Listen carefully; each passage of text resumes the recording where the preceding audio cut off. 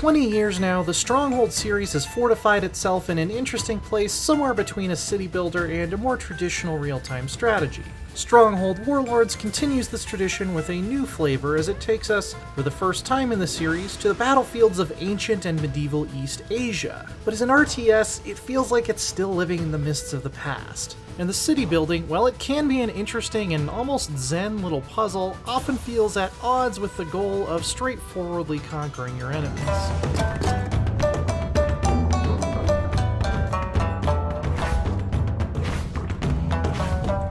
The biggest, often refreshing difference between a Stronghold game and, say, Warcraft or StarCraft is in how it pushes you to think about space. You're going to be turning an open plot of land into an impressive, thriving, walled city, assuming no one razes it to the ground first. And it's not just the availability of natural resources you need to worry about. Decisions like placing your main stockpile close to resource collection areas can have a big effect on the efficiency of your economy, and keeping your people happy later on will partly depend on how many of your buildings are in the radius of temples. You really have to try and picture how everything is going to fit together on top of building out your defenses to maximize your home field advantage. It does a good job of scratching that Tetrisy itch and making long-term planning pay off. That's been true of the series as a whole, but Warlords has added a new wrinkle in that you can choose whether to keep your people in line through love or fear. One building chain will let you construct torture racks and other unsubtle symbols of oppression, which make your workers work faster but demoralize your armies and reduce your popularity. The other offers creature comforts that will inspire the troops and endear you in the hearts of the commoners, but also lowers their resource output since they're spending too much time playing, I don't know, lawn darts or whatever. I enjoyed the tension that this created because I could see how much productivity I could squeeze out of my people and also keep each new stronghold from feeling like a repeat of the last.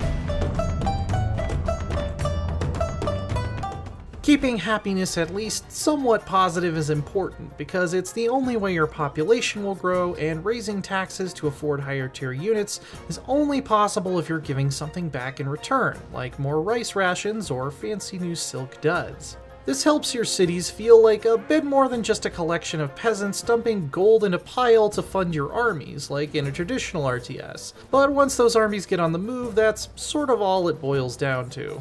Combat in Stronghold Warlords is at its best during sieges, whether you're on the attacking or the defending side. All the modular pieces you can construct your walls and towers from allow for some interesting and clever setups to maximize your advantages against a larger force, especially if you know a thing or two about how real castles were designed. When figuring out how to take on an enemy fortress, probing for weak spots, and choosing your opportunities carefully can be exciting as well. Field battles just aren't as interesting though.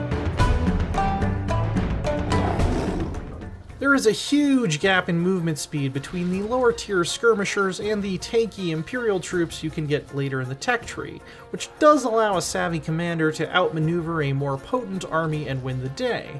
But overall, these fights are very like old school Age of Empires in their pacing and scale.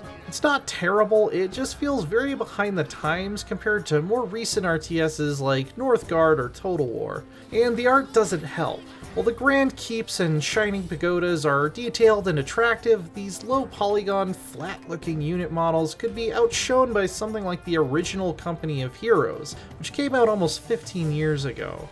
Each of these six single player campaigns, which are around 6 to 10 hours long, take you to a different time and place in history, but their heroes only seem like they're leading distinct factions because most missions limit what you can build. In multiplayer and skirmish versus AI, on the other hand, with everything unlocked, that distinction is lost. Not only are the unit rosters identical for each army, your Imperial swordsman will always speak Chinese, even if you're playing as the Vietnamese or the Mongols. Genghis Khan can hire ninja and samurai units just as easily as his rival, the Shogun, can get Mongol horse archers. There's a little bit of visual variation in some of the architecture, but overall, it's a weirdly homogeneous abstraction of a setting that spans almost an entire continent and over a thousand years of history. At least the mission objectives have good variety and nod to some interesting historical battles. When I'm laying out a city or defending it from invaders, Stronghold Warlords is satisfying and almost chill, but it's a better castle builder than it is in RTS, and aside from a kind of aimless free build mode, there's not much of a way to ignore those more lackluster elements. The dated unit models just aren't at all nice to look at, and make me wonder if a game of this budget wouldn't have gotten more bang for their buck going with a more stylized art direction. The historically based campaigns have some cool missions, but the fact that every faction boils down to a weird amalgamation of such a broad swath of history and geography and skirmish and multiplayer feels like a missed opportunity. I don't regret the time I spent with Stronghold Warlords, but I wouldn't be devastated to have missed it either. For more historical Asian strategy, check out our review of Total War Three Kingdoms. And for everything else, stick with IGN.